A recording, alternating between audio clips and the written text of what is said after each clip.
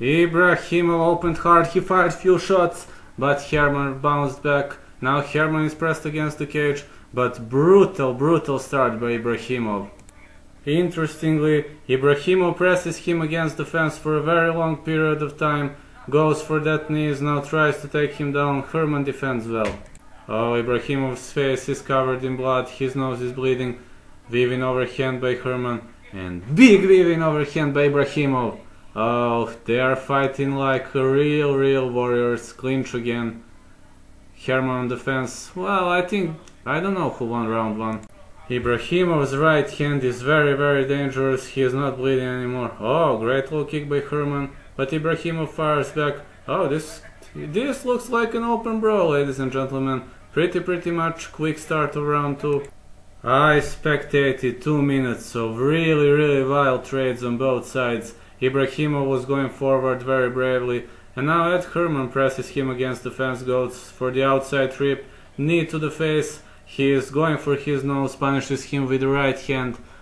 For now the pace has slowed down, but we watched great two minutes. Big right hand by Ed Herman and Ibragimov looks tired. Oh, he had another knee to the head. Man, this is very very dangerous position for Ibragimov.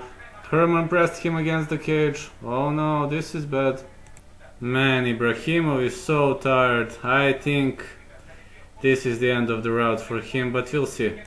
Wide overhand right by Ibragimov. It's very very obvious that he is looking for the way to finish this fight. We're gonna see what happens, but I'm worried because of his fatigue. Oh man, Ibragimov is in a problem. Herman presses him with his guillotine. He is pressed against the fence. Another knee. Oh, he's covered in blood. No, he's covered in blood. I hope he will survive, but this is very, very bad position for Ibragimov. Whoa, whoa, whoa, whoa. Great outside trip by Ibragimov. Now he's in the full guard. Herman defends well, but I think this takedown might give him even a round.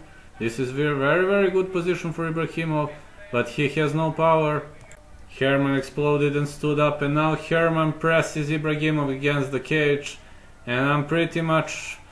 I pretty much think yeah, this goes to the scorecards and let's see what happens next.